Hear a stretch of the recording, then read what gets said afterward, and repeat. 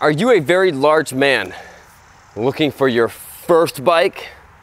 That's not the easiest thing to accomplish, but it actually is. I'm gonna show you all about it. Cue the intro.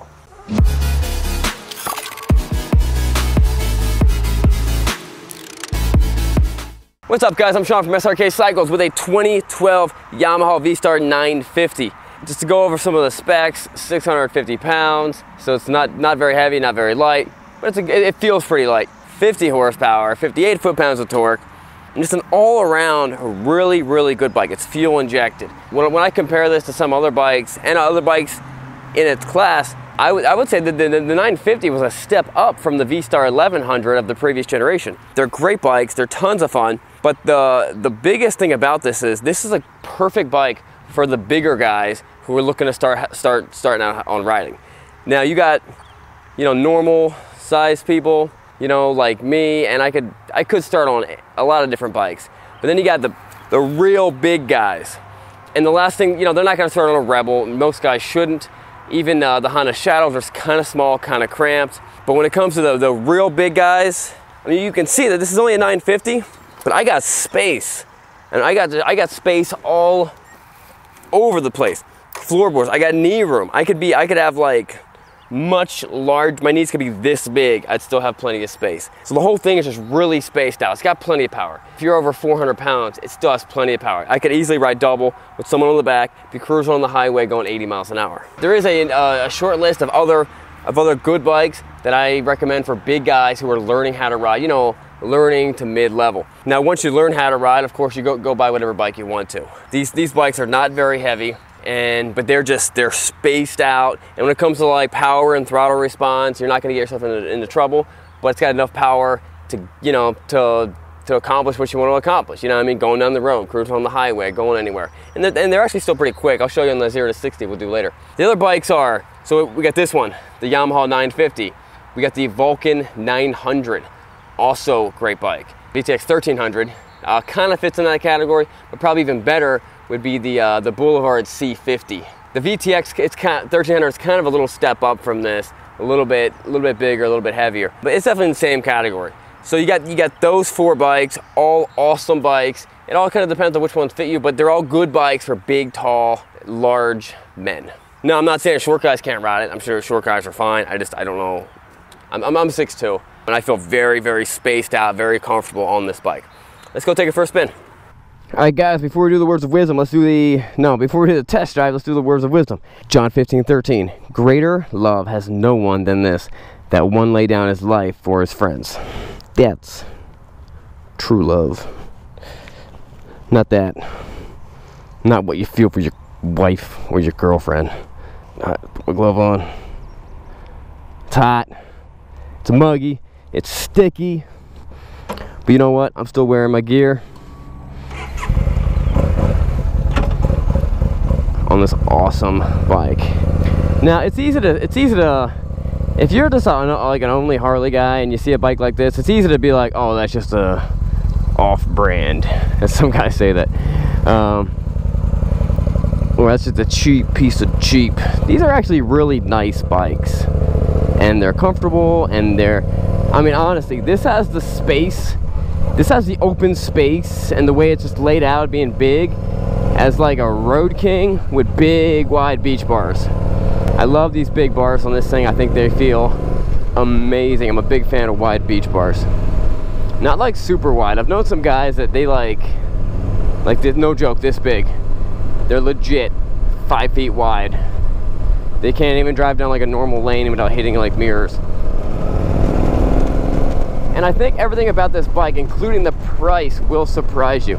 Um, these bikes almost always come under my top, my best bikes for less than five grand list because almost all you all you need to do is find one that's a couple years old and it's probably less than 5,000 bucks or somewhere around that somewhere around that ballpark.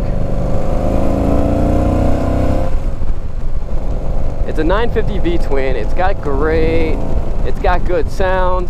It's got good power. It's not a powerhouse. It's not a muscle bike. But like most motorcycles, it's pretty quick. It's probably faster than your car.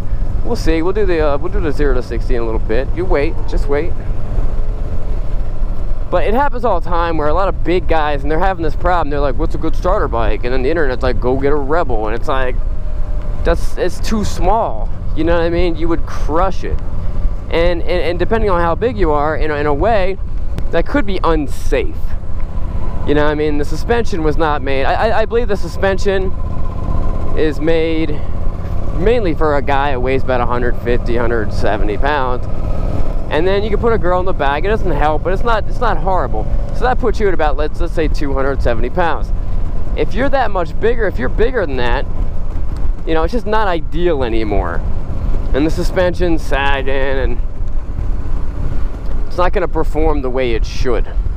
So that's why, you know, a bike like this is a great bike. We, we, had, a, we had a customer, he was big, he was a big guy, he was pushing, I bet the dude was pushing 375 pounds, and he was tall. The guy was like six seven or six eight, maybe six nine, big guy.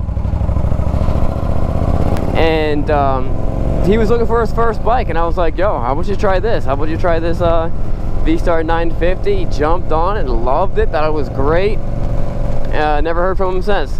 Another thing about bigger bikes and bigger guys is that, you know, a Rebel, a Rebel is very small. It's, it's, it's an extremely light bike. At a certain point, you might weigh more than the bike. That's kind of, that's kind of crazy. That's kind of crazy. But then also, when, when I tell people when they're getting into, when they're getting into bikes, there's a couple things, and you don't have. There's two things that you really don't have. You don't have the throttle. You don't got this smooth. You don't have the muscle memory, right? With the clutch and shifting, so you got to mess that up. But you don't have that smooth throttle hand. You see these new riders, and they get on a bike, and they're like, they, like, they don't even know what they're doing. It's like, what are you doing, man? You don't know that it's making loud noises and no one else is doing that? And they have no idea what this this this it's it, this this rand is just dumb. They have no idea what's going on until they've really acquired that. And when you have a really really fast bike, that you can make mistakes with that. You can make big mistakes. On a bike like this, you're not gonna, you know, you give a little too much gas, it's not a big deal. No one's gonna get hurt. But then the other thing is the weight of the bike. If the bike feels really, really heavy to you, you're probably not going to ride it because it might be a little intimidating. You know what I mean? So, it, it, so it's called motor. I call it motorcycle balance, and I don't know what anyone else calls it, but it's the ability for you to balance a bike, where you can distribute your weight and where you put, you know, where your muscles tension up and do its thing to keep the bike upright which is why you have guys who are like 150 pounds, 80 years old, riding gold wings, and then you have young guys that are big, strapping, strong young guys, and they feel they're like, that bike's too big. That bike's just too big, and it's like, hold up, man. It's not no, it's not about the bike. It's you haven't acquired the balance of how to handle that motorcycle. So that's why that's why bigger guys can ride bigger bikes because they can compensate for they can compensate for not having balance with strength you know from strength in comparison to the weight of the bike. You know any any no one needs balance for a bicycle because it's so light. That's why I, I don't tell people that I, I try to recommend people when it's their first bike to not buy a really heavy bike or a really powerful bike. Zero to 60 I'm gonna go with uh, four four and a half which on the grand scheme of things might not be fast for a motorcycle, but for a vehicle on the road, that's pretty quick. That's a pretty quick machine. Let's see what it can do.